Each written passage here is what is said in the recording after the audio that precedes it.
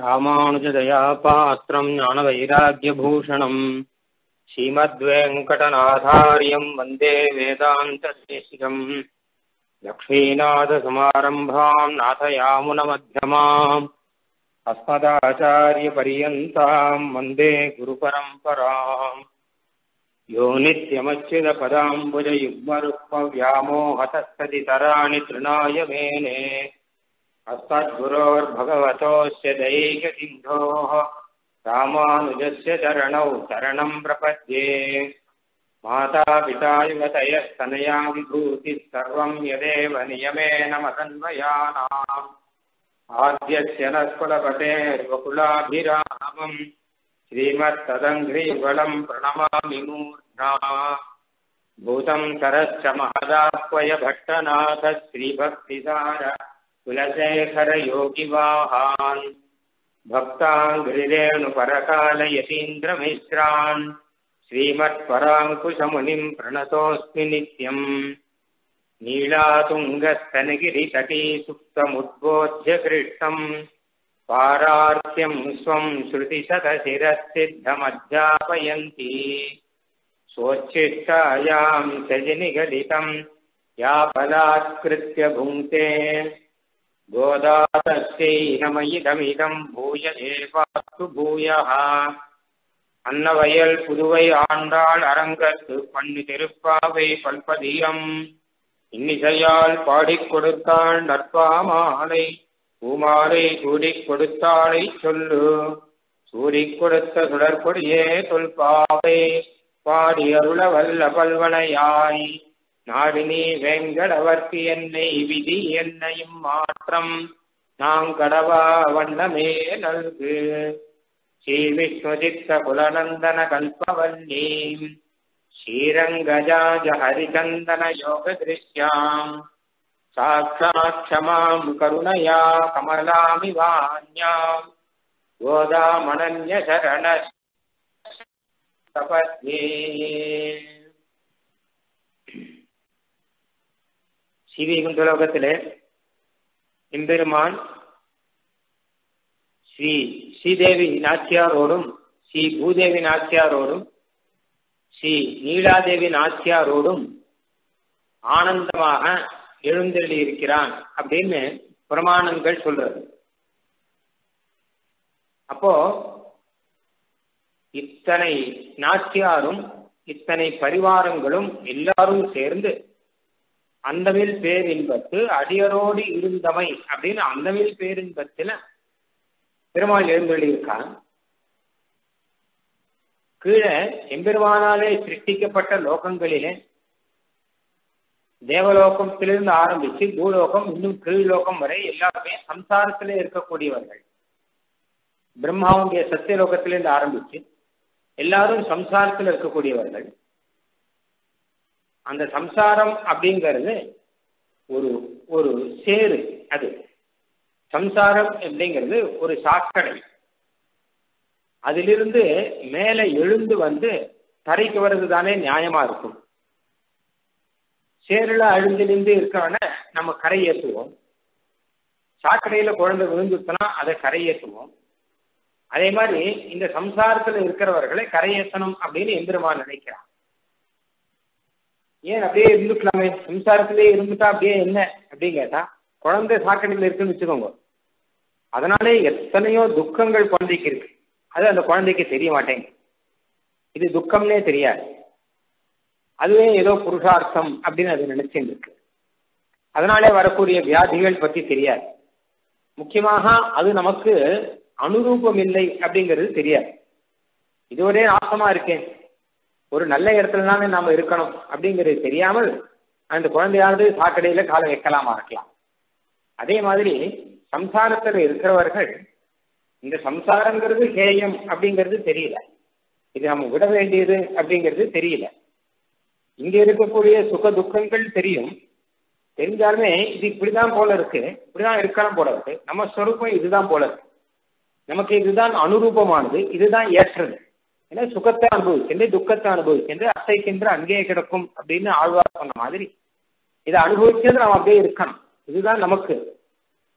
நம்மளுடைய சுவாவம் இது அப்படின்னு நினைச்சிட்டு இருக்காளாம் அது இல்லை. உண்மையில வந்து அந்த குழந்தைக்கு அந்த அம்மா அப்பாவெல்லாம் எடுத்து சொல்ற மாதிரி அந்த குழந்தைய தூக்கி விடுற மாதிரி எம்பெருமான் நினைக்கிறான் இவர்களை இந்த சம்சாரத்தில் இருந்து மேல தூக்கி விட்டு அவர்களை வந்து தன்னுடைய இடத்துக்கு கூட்டுக்கணும். சீதை கொண்ட லோகம். அது தன்னுடைய இடம் மாத்திரம் இல்லை இவர்களுக்கும் அதுதான் இடம். இவர்கள் இருக்க வேண்டிய இடமும் அதுதான். அது தெரியாம இவர்கள் இங்க இருந்துருக்கார். ஏறிட்டு கொண்டிருக்கிறார்கள். இல்லாத தன்மை எல்லாம் ஏறிட்டு இருக்கு நான் சம்சாரி அப்படின்னா அதுவே ஒரு ஏறிட்டு வச்சிருக்கிறது தான். நான் அஜ்ஞானி அப்படின்னா அதுவே ஏறிட்டு வச்சிருக்கிறது தான். ஏன்னு கேட்டா சர்வஜனாக இருக்க வேண்டியவர்கள். சம்சாரத்தில் இல்லாமல் ஆனந்தத்தில் இருக்க வேண்டியவள் நான் துக்கப்படுறேன் அப்படின்னா அதுவே ஏறிட்டு விட்டுறலாம் ஏன்னா நமக்கு துக்கம் சொரூபம் கிடையாது. ஆத்மாவுக்கு சொரூபம் சுகம்தான் ஆனந்தம் தான் துக்கம்னா ஏதோ சரீரத்து மூலமாக வந்துடுது. இது எல்லாமே இல்லாததை ஏறிட்டுண்டா அதனால வரக்கூடிய பிரச்சனை. அதனால எம்பெருமான் என்ன நினைக்கிறான் அப்படின்னா இவர்களுக்கு இந்த தத்துவம் வேணும். தத்துவம் தெரிஞ்சுக்கணும். தெரிஞ்சு இவர்களை எப்படியாவது மேலுக்கு கூட்டிட்டு போகணும் அப்படின்னு எம்பெருமான் நினைப்பான் அதுக்காக தான் எந்திரமான அவதாரங்கள் எல்லாம் பண்ணிக்கிறான் மனுஷர்களை தூக்கி விடுறதுக்காக மனுஷர்களுக்கு சமமாக அவனும் இங்க வந்து அவதாரம் பண்ணான். தேவர்களுக்கு சமமாக அங்க வந்து அவதாரம் பண்ணான். விஷ்ணு அப்படின்னு அவதாரம் பிரம்மாவுக்கும் சிவனுக்கும் சமமாக அவர்களுக்கு சமமா வந்து அவதாரம். திருப்பார்கடல்ல பெருமாள் ஸ்ரீராப்திநாதன் அவதாரம் அப்படின்னு கேட்டா தேவர்களுக்கு இந்திராதி தேவர்களுக்கு சமமாக வந்து அவதாரம். உபேந்திரனாக அவதாரம் பண்ணார். இந்திரனுடைய தம்பியாக வாமன பெருமாள் அவதாரம் பண்றார். உபேந்திரோ வாமன பிராம்சுன்னு அது தேவர்களுக்கு சமமான அவதாரம். ராமகிருஷ்ண அவதாரங்கள்லாம் மனுஷர்களுக்கு சமமாக ஒரு அவதாரம். இன்னும் தெரியக்கான மிருகங்களுக்கு சமமாக கூட அவதாரம் பண்ணிருக்கேன் பெருமாள் இந்த எண்ணத்தினால இந்த பூலோகத்துல இருக்கிறவர்களே எல்லாம் அவர் நல்லபடியாக கூட்டு போனோம் அப்படிங்கிறதுக்காக இந்த பூலோகத்திலே வந்து அவதாரம் பண்றார் இங்க. இப்படி பெருமாள் பல அவதாரம் பண்ணியும் இன்னும் பூமியில பல குழந்தைகள் கஷ்டப்பட்டு இருக்கிறத பார்த்து அந்த பூமாதேவியானவர் அவரே ஒரு அவதாரம் பண்ணார். பெருமாள் கிட்ட சொன்ன நானே போய் அவதாரம் பண்றேன் அப்படின்னாரு. ஏன்னா உண்மை நம்பி பிரயோஜனம் கிடையாது. உம்மால ஏதோ கொஞ்சம் தான் செய்ய முடியுது பூர்த்தியாக செய்ய முடியல. அதனால நானே போய் பூமியில இருக்கிற ஜனங்களை எல்லாம் சொல்லி திருத்தி நானே வந்து உண்மை சேரும் வகையை அவர்களுக்கு நான் காமிக்க போறேன் அப்படிங்கிறதாக அந்த பூமாதேவியானவர் அவரே ஒரு அவதாரம் செய்தார். அதுதான் கோதா அவதாரம் ஆண்டாளாக அவதாரம். அவரும் பூமியிலே தான் வந்து அவதாரம் பண்றார். பூமியிலேயே அப்படின்னா மற்ற குழந்தைகள்லாம் பிறக்கிற மாதிரி பிறக்காமல் பெரியாழ்வாருடைய உத்தியான வனத்திலே தோட்டத்திலே சீவிலிபுத்தூரிலே தரையில மண்ணுல தோட்டத்து மண்ணுல வந்து அவதாரம் பண்ற அவரே மண் மங்கை தானே அவர் பூமாதேவி தானே அதனால் மண்ணிலே வந்து அவதாரம் பண்றது பொருத்தமா இருக்கு. பெரியாழ்வாராலே வளர்க்கப்பட்டவர்.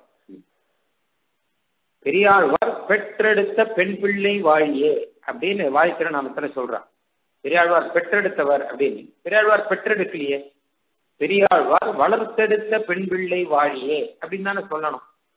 ஏன் பெரியாழ்வார் பெற்றெடுத்த பெண் பிள்ளை வாழியே அப்படின்னு ஏன் சொன்னார் அப்படின்னா ஒரு பெற்றெடுத்த பெண் பிள்ளை எப்படி வளர்க்கணுமோ அப்படி வளர்க்க அவர் பெருமை வளர்க்கறது மாத்திரம் இல்லை பெற்றவர்கள் பெற்றதோடு சரி வளர்த்தவர்கள் வளர்த்ததோடு சரி அப்படின்னு இல்லாமல் ஒரு பெற்ற குழந்தைக்கு எத்தனை பரிவு இருக்கும்?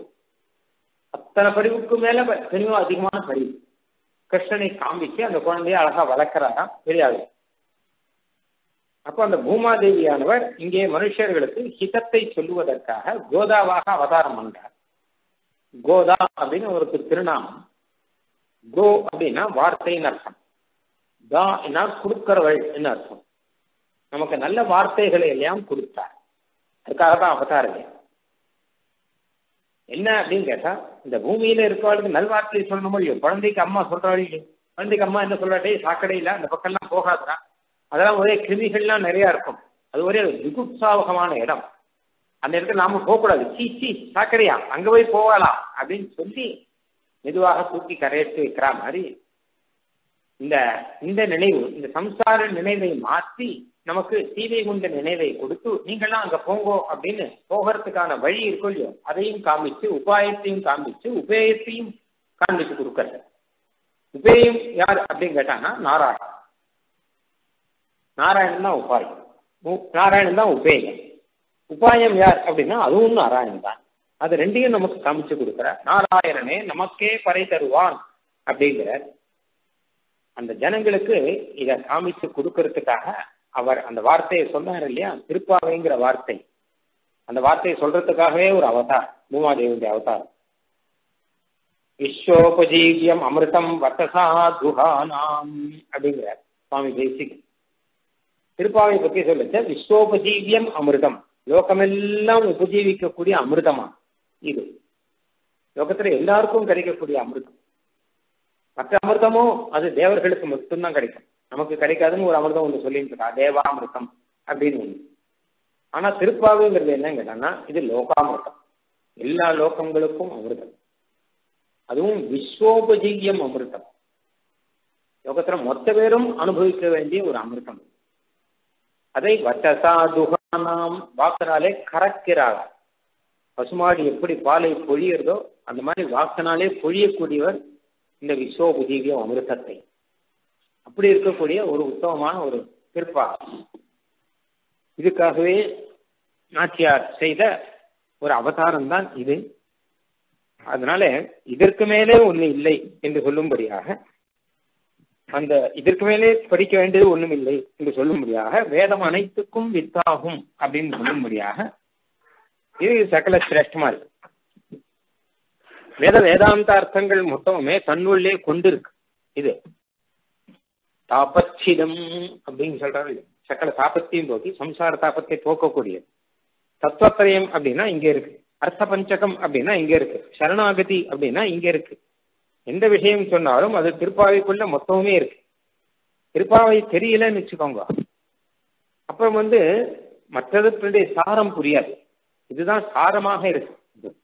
திருப்பாவை தெரிஞ்சிருக்கு அப்படின்னா அப்ப மற்றதெல்லாம் இதனுடைய விஸ்தாரம் தான். அப்போ மற்றது தெரிஞ்சுக்கணும்னு அவசியம் இல்லை தெரிஞ்சிருந்தாலும் சரி அப்படிங்கிற மாதிரி இருக்கு. அதனால அந்த மாதிரியாக மனுஷர்களுக்கு ஹிதாஹித விவேகத்தையும் முக்கியமாக உபாயத்தையும் உபேயத்தையும் நாச்சியார் வந்து திருப்பாவையிலே அருளி செய்கிற விஸ்வோபஜீவியம் அமிர்தம். இன்னொரு அர்த்தம் ஏன் இதை சொல்லணும்? வேதம் தான் இருக்கே. வேதத்துல சொல்லாத விஷயமா? பகவான் அடையறதுக்கு பகவானே உபாயம் அப்படிங்கிறது வேதம் தானே காமிச்சு கொடுக்குறது நமக்கு. இப்போ வேதம் தான் இருக்கே அப்படின்னா வேதம் இருந்தா கூட அது எல்லாரும் ஏற்கும்படியாக இல்லை. சில பேர் அத்தியனம் பண்ணலாம் சில பேர் பண்ணக்கூடாது. பண்ணவர்களையும் சில பேருக்கு தான் புரியும். சில பேருக்கு புரியாது. சில பேர் வேற விதமா அர்த்தம் சொல்லுவா. அப்படி எத்தனையோ இருக்கு.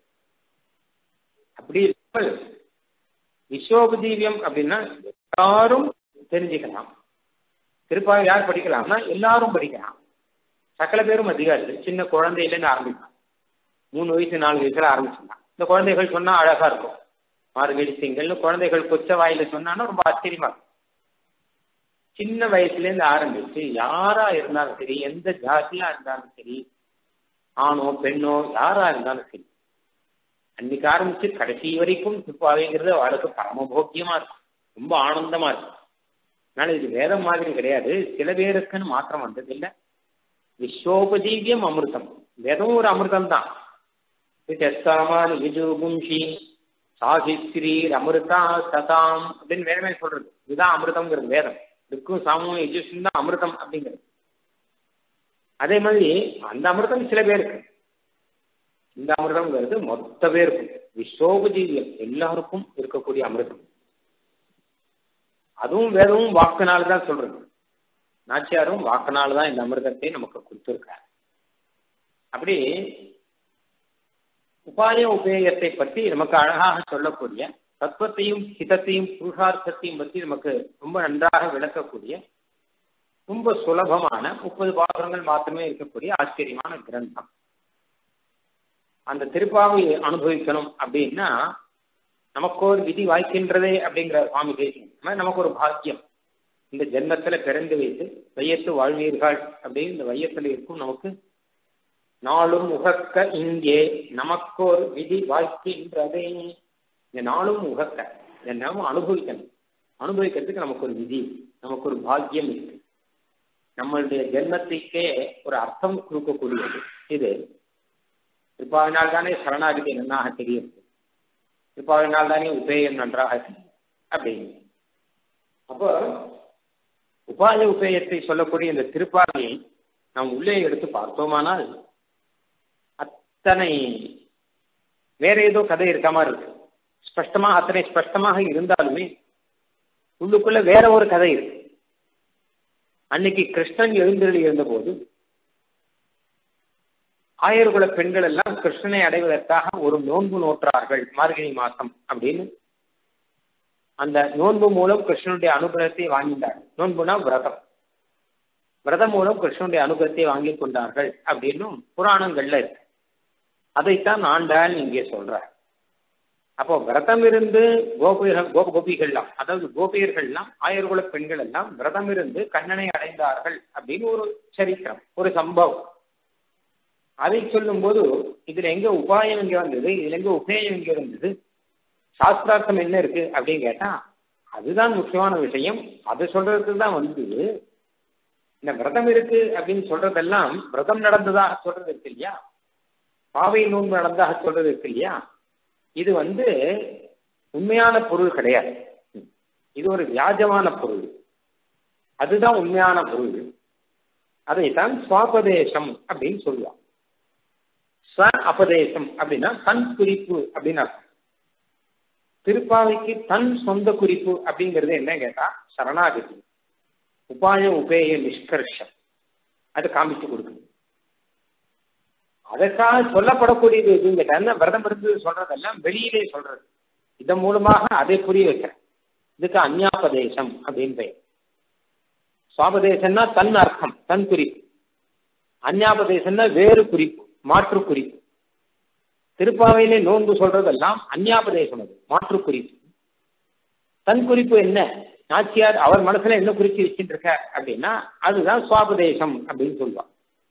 இந்த பாட்டுல நாச்சியாருடைய திருவுளத்துல இருந்து குறிப்பு என்ன அப்படிங்கிறத சொல்லுவான் அது திருப்பாவையில ரொம்ப முக்கியமான விஷயம். திருப்பாவை காலக்ஷேபங்களோ உபன்யாசங்களோ பண்ணும்போது இல்ல வியாக்கியானத்துல கூட சுவாபதேச அர்த்தங்கள் அப்படின்னு எடுத்து சொல்லுவான் அது வேதாந்த அர்த்தங்கள் மொத்தம் கடக்கும்.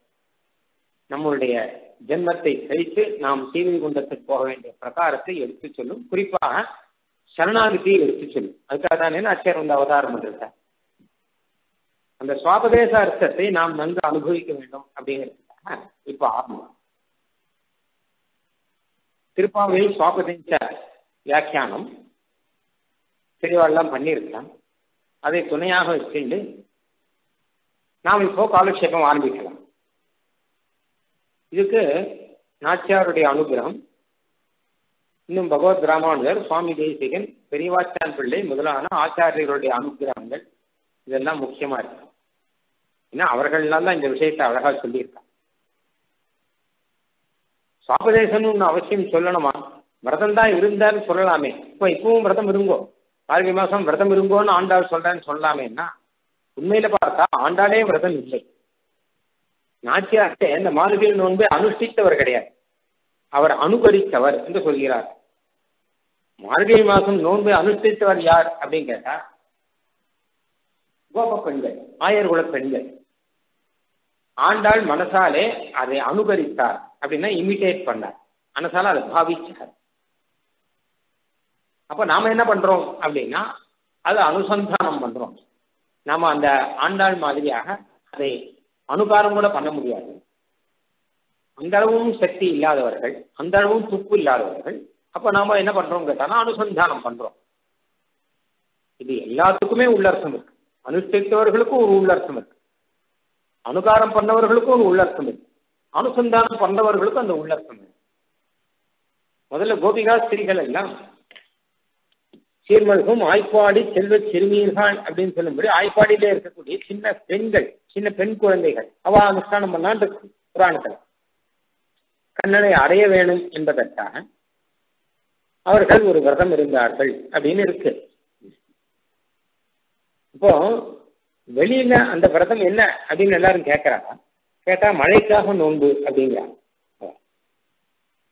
ஆழிமழை கண்ணா உந்திரணி கை கரைவேல் அப்படிங்கிற. ஆனா உள்ளுக்குள்ள என்ன அப்படின்னா கிருஷ்ணன் வேணும் வெளியில சொல்லல உள்ளுக்குள்ள கிருஷ்ணன் வேணும். கிருஷ்ண அனுபவம் வேணும். நந்தகோபசுதம் தேவி பதி மே குருதே நமஹா. நந்தகோபசுதன் எங்களுக்கு பத்தி ஆகணும். அவனை எங்களை விட்டு பிரிச்சிடக்கூடாது. இப்படிங்கிறதுக்காகவே ஒரு விரதம். இந்த விரதத்தை இருக்கார். அதே மாதிரி அனுகாரம் பண்ணவர் எதுக்காக அனுகாரம் பண்ணார் அப்படின்னா கிருஷ்ணன் பத்தி இருக்கணுங்கிறதுக்காக அனுகாரம் பண்றார் அனுசந்தானம் பண்ணக்கூடிய நாமர்கள் எல்லாம் எதுக்காக திருப்பாவை சொல்றோம் அப்படின்னா சொல்லணுங்கிறதுக்காக சொல்றோங்கிறது இல்லை. கிருஷ்ணன் பத்தியா இருக்கணும் அவர்களுக்கு கிடைச்ச பாக்கியம் கோபிகாஸ்திரிகளுக்கு கிடைத்த பாக்கியம் ஆண்டாளுக்கு கிடைத்த பாக்கியம் நமக்கு கிடைக்கணும். கண்ணன் பத்தியாக இருக்கணும் நமக்கும். நாம் பத்னியாக இருக்கணும் அதுதான் சரணாகதி. கண்ணனுக்கே ஆட்செய்வோம் உனக்கே நாம் ஆட்செய்வோம் மற்ற இனங்காமங்கள் மாற்று உனக்கே நாங்கள் ஆட்செய்ய வேண்டும். வேற யாருக்காவது எங்களை ஆளாக்கிடாரு உன்னை சேர்ந்தவர்கள் நாங்கள் எல்லாம். உன்னையிட்டே விபதேசம் பண்ணும். நாங்கள்லாம் கிருஷ்ண பக்தர்கள். நாங்கள்லாம் பாகவதர்கள். பகவானை சேர்ந்தவர்கள். அப்படின்னு தான் எங்களுக்கு பெருமை. அதுதான் எங்களுக்கு வேணும். பாகவதர்கள் சொல்லாம வேற ஏதாவது சொல்றது முக்கியம் இல்லை வேற ஏதாவது சரீரத்தை இட்டு சொல்றதெல்லாம் முக்கியம் இல்லை வைஷ்ணவா வியபதேஷ்டவியா நைவ கிராம குலாதிபிகி விஷ்ணுனா வியபதேஷ்டவியா ஃபர்ஸ்ட் சர்வம் செய்ய விகி வைஷ்ணவனு விஷ்ணு வச்சு தானே சொல்லணும். வைஷ்ணவன்னு தானே சொல்லணும். பாகவதன்னு தானே சொல்லணும். வேற ஊரை சொல்லியோ பேரை சொல்லியோ டிகிரியை சொல்லியோ உத்தியோகத்தை சொல்லியோ அதெல்லாம் தேவையில்லை அப்படிங்க. அந்த மாதிரி ரீதியில கண்ணனுக்கே ஆட்பட்டு கண்ணனுடைய குடும்பம் எடுத்து இருக்கக்கூடியவர்கள் நாங்களும். அதை அதைத்தான் சொல்ற அவாள மாதிரியே கோபிகாஸ்திரிகள் பெற்ற பேரு எங்களுக்கு வரும். அப்படிங்கிறதுக்காக இந்த பலனை அந்த திருப்பாவை ஆச்சரியமாக கொடுக்கும். அதுவும் ஞானத்தை கொடுத்து நமக்கு உபாய மூலமாக எம்பெருமானிடம் நம்மை கொண்டு அழகாக சேர்விக்கும் அப்படின்னு. இதுதான் இதனுடைய முக்கியமான கருத்தே. இந்த சுவாபதேசம் சொல்லணுங்கிறதுக்கு என்ன பிரமாணம் அப்படின்னா இங்க மாத்திரம் இல்ல பல இடத்துலயும் சுவாபதேசம் சொல்லிருக்கா வேத மந்திரங்களுக்கெல்லாம் கூட சுவாபதேசம் சொல்றது உண்டு ஸ்ரீமத் ராமாயணத்துக்கு சுவாபதேசம் சுவாமி வேதாந்த தேசியம் சாதிச்சிருக்கேன் ராவணன் அப்படின்னு ஒரு ராட்சசன் பத்து தலை இருக்கு அவனுக்கு. சீதா பிராட்டியை கவர்ந்து போயிட்டான். ஆனால் பெருமாள் போய் ராவணனை கொண்டு சீதா பிராட்டியை மீட்டார்னு கதை எல்லாருக்கும் தெரியும். ஆனா இது கதை இல்லையா? பின்ன என்னங்கன்னா தசேந்திரியானனம் கோரம் யோ மனோரஜனீகரம் விவேக சரஜாலேன சமம் நமைதி யோகினம் பத்து தலைங்கிறது தான் பத்து இந்திரியம். ராட்சசன் ராவணங்கிற ராட்சசன் தான் மனசு. பத்து இந்திரியத்துக்குள்ள மனசு இருக்கு. பத்து இந்திரியத்தையும் செலுத்தக்கூடிய மனசு. இது ராட்சசனா கிடைக்கிறது அப்படின்னா இப்ப ராவணன்னா யாரும் கேட்டா நம்ம மனசு தான் ராவணன். பத்து தலைனா பத்து இந்திரியம் தான் பிடிச்சு நம்மள சிறையில வச்சிருக்கு. சீதா பிராட்டியார்னா நாம தான் இது ஜீவாத்மா தான் இந்த ஜீவாத்மாவை பிடிச்சு ராவணன் சிறையில வச்சா மாதிரி உடல் அப்படிங்கிற சிறையில சரீரம்ங்கிற சிறையில பிடிச்சி வச்சிருக்கு. நீ இங்கே இரு. அப்படிங்கிறது. எங்கேயும் போகக்கூடாது. நீ இந்த சரீரத்திலேயே இருந்துட்டு இங்கேயே அனுபவிச்சுட்டு இருக்கணும் நான் சொல்ற மாதிரி கேட்டுட்டு இருக்கணும் நான் உன்னை அனுபவிச்சுட்டு இருக்கேன் நீ என்ன அனுபவிச்சுட்டு இருக்கணும் அப்படின்னு இந்த மனசானது இந்த ஆத்மாவுக்கு சொல்றதா. நான் இந்திரியங்கள் மூலமா நான் என்னென்ன அனுபவம் சொல்றேனோ அதெல்லாம் நீ அனுபவிச்சுட்டு இருக்கணும் அப்படின்னு சொல்றது. ஆனா ஆத்மா என்ன பண்றது அப்படின்னு கேட்டா ராமமேவ அனுபவிச்சந்தி ராமனையே சீக்காட்டையை நினைச்சுட்டு இருக்காரு இல்லையா அந்த மாதிரி இந்த ஆத்மாவானது பகவானையே நினைச்சது. எப்படாப்பா இந்த சரீரத்தை விட்டு வெளியில போய் இந்த சிறையிலேருந்து வெளியில போய் எம்பெருமானோட சேரப்போறோம். ஏன்னா சீதா பிராட்டி ராமனுக்கு ஆட்பட்டவர் ராமனுக்கே வாழ்க்கைப்பட்டவர் அதே போல நாமும் பகவானுக்கே வாழ்பட்டவர். உந்தனோடு உறவேன். உனக்கு எனக்கும் ஒரு உறவு இருக்கு. சீதா பிராட்டிக்கும் ராமனுக்கும் ஒரு உறவு இருக்கும் அந்த பத்தி பத்னிங்கிற உறவு அந்த உறவுனால் தானே பெருமாள் வந்து கூட்டுக்கிறார். அந்த மாதிரி சீதா பிரா ராவணனை கொண்டு சீதா பிராட்டி நமக்கு யாரோ விட்டு போலியே. ஆசிரியதேதி ஆண்டு சம்சியதா? அப்படிங்கிற ஐயோ நம்ம ஆசிரியத்து வந்தவராச்சே அப்படின்னு கருணையோடு கூட. பத்னி நஷ்டேதி சோகேன அப்படின்னு பிரியேதி மதனேனசேன சகல பாவத்தோடையும் வந்து சீதா பிராட்டியை பெருமான் கூட்டுக்கிறேன் காருண்யம் இருக்கு ஆண்டு சதிசம் இருக்கு சோகம் இருக்கு காதல் இருக்கு எல்லாத்தோடையும் வந்து கூட்டுக்கிறேன் அதே மாதிரி அத்தனையோடையும் பெருமாள் இப்ப நம்மளை பார்த்துட்டு இருக்கேன் நம்மகிட்டயும் காருண்யம் ஆண்டு சம்சயம் சோகம் அன்பு எல்லாம் இருக்கு. ஐயோ இந்த பையன் இப்படி இருக்கே அப்படிங்கிறது. ஐயோ இது நம்ம கிட்ட வந்துட்டா நல்லா இருக்குமேனு ஒரே ஆசை. ஆசையோட காத்துட்டு இருக்கான் சிந்துரம் ஆணு வாயப்பொழுது காத்துட்டு இருக்கா மாதிரி காத்துட்டு எப்போ வரும் எப்போ வரும் எப்போ வரும் அப்படின்னு காத்தன். ஆனா ராவணம் பிடிச்சி சிறையில வச்சா மாதிரி நம்ம பிடிச்சி சிறையில வச்சு எது நம்ம மனசு? சரீரத்துல இதுல இருந்து வெளியில வரணும். வெளியில வரத்துக்கு அத்தியத்வே ஹனுமத் சமேன குருனா பிரக்யாபிதார்த்த புமானு ஹனுமான் மாதிரி ஆச்சாரியன் வர வந்து சீதா பிரியாட்டை கிட்ட எடுத்து சொல்ற மாதிரி நம்ம கிட்ட எடுத்து சொல்லி சீதா பிரியாட்டை பெருமாளையும் சேர்த்து வச்ச மாதிரி நம்ம சேர்த்து வைக்கிறோம் பெருமாளே சீதா பிராட்டி போய் கூட்டுக்கிற மாதிரி இந்த பெருமாளே நம்ம கூட்டு சீதை கொண்டு அழிச்சுன்னு போற. அப்படின்னு ராமாயணத்தினுடைய சாரம் அப்படிங்கிறத வரிக்கோதி பார்க்கலாம் சுவாமி தேசியன் சங்கல்ப சூரியோதயத்துல தர்போ தர்கிரதேந்திரியான நமனோ நக்தஞ்சராதிஷ்டிதே தேகேஸ்மின் பவ சிந்துனா பரிகதே தீனாம் தயாமாஸ்திதான்னு ஆரம்பித்து ஸ்லோகத்தில் அழகா சொல்றேன் அந்த மாதிரியாக ராமாயணத்துக்கும் சுவாபதேசம் இருக்கு. உள்ளர்த்தங்கிறது வெறும கதை. மகாபாரதத்துக்கும் உள்ளர்த்தம் இருக்கு. ருக்மிணி பிராட்டி கல்யாணம்னா அதுக்கும் உள்ளர்த்தம் இருக்கு. என்னன்னா அஞ்சு சகோதரர்கள் இருக்கா காவல்ல வைக்கிறா ருக்மிணி பிராட்டி. அஞ்சு பேரையும் மீறிண்டு போய் கிருஷ்ணன் வந்து கை கை கொடுக்க அந்த கையை பற்றிண்டு போய் கிருஷ்ணனோட பேர்ல ஏறி போறாரு இல்லையா? மாதிரி அஞ்சுனா அஞ்சு இந்திரியங்கள் பஞ்சேந்திரியங்கள் பஞ்ச ஞானேந்திரியங்கள். நம்மளை காவல்ல வச்சிருக்கு. மனசு இல்ல ஆத்மா. அப்ப பகவானுக்கு செய்தி அனுப்ப வேண்டாமா? செய்தி அனுப்பிச்சாலும் உடனே பகவான் வந்து கூட்டுக்க மாட்டான். பகவானுக்கு செய்தி அனுப்புறதுக்காருன்னா ஒரு பிராமணன் அனுப்புறா விசிந்தியா ஆப்தம் விஜம் கஞ்சிடு அப்படிங்கிறார். ஒரு திஜம் அப்படின்னா பிராமணன் அர்த்தம். திஜம் அப்படின்னா பக்ஷி அப்படின்னு அர்த்தம். திஜம் அப்படின்னா ரெண்டு ஜென்மம் எடுத்தவர் ஆச்சாரியன் ஆச்சாரியன் தானே மந்திர ஜென்மம் எடுத்தவர். அன்று நான் பிறந்திரேன் பிறந்ததின் மறந்தேன் மந்திர ஜென்மத்தை எடுத்த ஆச்சாரியன் மூலமாக நம்ம செய்தி அனுப்பிச்சோம்னா பகவானே வந்து நம்மளை கூட்டுப்பான் நம்ம செய்தி அனுப்ப வேண்டியதா நம்ம செய்ய வேண்டிய காரியம். வேற ஒன்றும் கிடையாது. பகவானே நான் தயாரா இருக்கேன்னு தெரிவிச்சா போதும். அவனே வந்து கூட்டுன்னு போவான். அப்படி எல்லாத்துக்குமே சுவாபதேசம் இருக்கு. சுவாபதேசம் தான் முக்கியம். மற்றெல்லாம் அந்யாபம். திருவாய்மொழியில சுவாபதேசம் இருக்கு. திருவாய்மொழியில ஆழ்வார் வந்து நாயிகா பாவத்துல பேசுறார் அப்படின்னா ஒரு பிராட்டியானவர் ஒரு ஆயர்குல பெண் ஒருத்தி பேசுற மாதிரி பேசுற அப்படின்னா எதுக்காக அப்படி பேசுற? ஆயர்குல பெண் பேசுற மாதிரி எதுக்காக ஆழ்வார் பேசுவானே அப்படின்னா உள்ளர்த்தம் வச்சுட்டு முத முதல்ல அஞ்சிரிய மடனாராய் பாசுரத்துல திருவாய்மொழியில ஆரம்பம். ஆழ்வாருடைய முதல் பிரபந்தம் அப்படிங்கிறது திருவிருத்தம். முன்னுரைத்த திருவிருத்தம். அதுலேயே முதல் பாட்டு முடிஞ்சோடனே ரெண்டாம் பாட்டுலே நாயிகா தான் ஆரம்பம். அது திருவாய்மொழியில வந்தோம்னா பல இடத்துல இருக்கு அஞ்சிரையன ஆரம்பம். அஞ்சிரையக்கு அதுக்கு பிள்ளை வியாக்கியானம் பண்ணும்போது விஞ்ஞாபதேசத்தாலே பேசுகிறார் தான் சொல்றேன் வாயும் திரைகளும் வாயும் திரைகளும் வியாக்கியானம் பண்ணும்போது அஞ்ஞாபதேசத்தாலே ஸ்வதசையை பேசுகிறான். அஞ்ஞாபதேசமா சொல்ல சுவாபதேசமா சொல்ல சுவாபதேசம்னா தானே நேர சொல்றதா சொல்லல வேற ஒரு கதை சொல்ற மாதிரி சொல்றேன். வேற குறிப்பா சொல்றேன். ஒரு பிராட்சியினுடைய குறிப்பா சொல்றேன். என்ன குறிப்பு அப்படின்னா எம்பெருமானை பிரிந்து எதனைத்தான் ஒரு பிராட்டி எம்பெருமான பிரிந்து இருக்கக்கூடிய ஒரு பிராட்டி. அவ எந்த நிலையில இருக்காளோ அந்த நிலையில ஆழ்வா இருக்க எம்பெருமான பிரிஞ்சு இருக்கிறோம் இல்லையோ அப்ப பேசுற அவர் என்ன பண்ணார்னா தூதம் அனுப்பிச்சார்.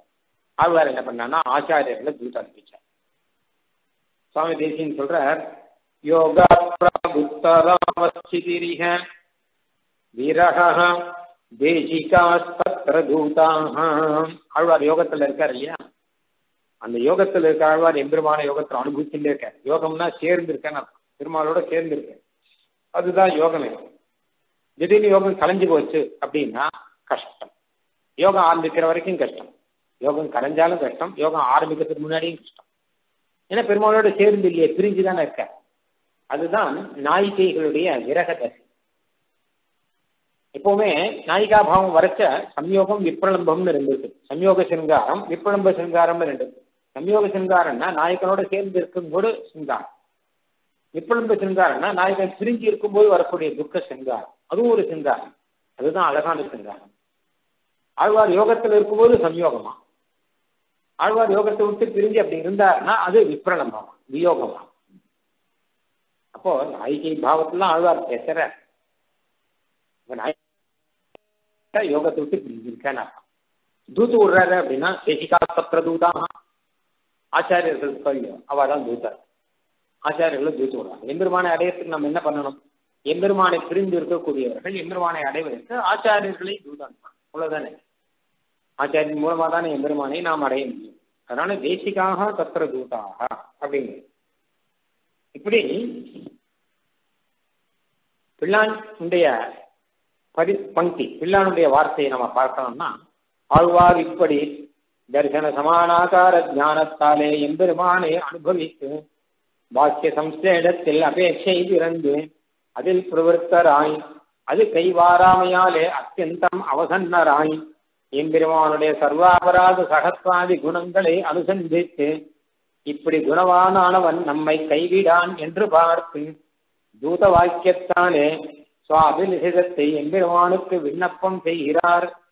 ஒரு பிராட்டினுடைய வாக்கிய அபதேசத்தினாலே சுவாபிரதத்தை விண்ணப்பம் செய்கிறார். பிராட்டினுடைய வார்த்தையாக தன் வார்த்தையை சொல்ற உள்ளர்த்தமா இருக்கு இவருக்கு வெளியில பார்த்தா பிராட்டினுடைய வார்த்தை மாதிரி. உள்ள பார்த்தா எந்திரமானுடைய சிந்தை இருக்கணும் அப்படிங்கிறது தான் பிரதானமா தெரியுது. அது திருவாய்மொழியிலே சாப்பிடு ஆழ்வார் பாட்டு இப்படியாக ஸ்ரீமத் ராமாயணம்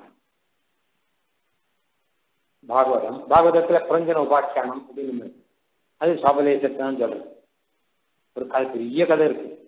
விஸ்தாரமான ஒரு ரெண்டு மணி காலம் சொல்லலாம். அவருக்கு பெரிய கதை உண்டு நாரதர் சொல்ற ஒரு யாகத்துல போய் இந்த கதையை சொல்ற. என்ன அர்த்தம் புரியலையே நான் கடைசியில் அர்த்தத்தையும் அவரே சொல்றேன் நீ பாட்டுக்கு ஏதோ அம்புலிமா கரமா இருக்கும் சொல்லிட்டு என்ன அர்த்தம் அப்படின்னா வேதாந்த அர்த்தம். நான் மறைச்சி சொல்லிருக்கேன். அந்த அர்த்தத்தை நான் சொல்றேன் கேளுங்கோ அப்படின்னு ஆரம்பிச்சு அதையும் சொல்ற அப்படின்னு புரஞ்சன உபாச்சானம்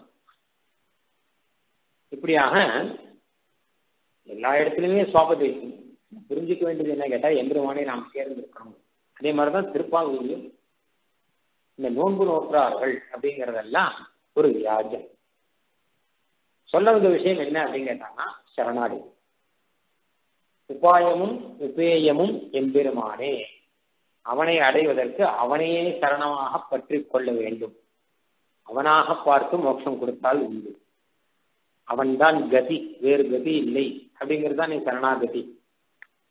அதை சொல்றதுதான் திருப்பா. அதை திருப்பாவை எப்படி சொல்றது? எப்படி உள்ளர்த்தமாக சொல்றது? உள்ளர்த்தம்னா வலிய அர்த்தம். கஷ்டப்பட்டு கண்டுபிடிச்சு இதுக்கு இப்படி அர்த்தம் சொல்லணுமா? அப்படின்னா அப்படிலாம் கிடையாது. ரசமான அர்த்தம். மேலோட்டமா பார்த்தாலே அந்த அர்த்தம் கிடைக்கும். உள்ளர்த்தம் அப்படின்னு நம்ம ரொம்ப கஷ்டப்பட வேண்டாம். ஆண்டாள் அந்த அபிப்பிராயத்தில் தானே அருளி செய்கிறார். அப்போ அவருடைய அனுகிரகத்தினாலே நமக்கு என்ன தெரியும்.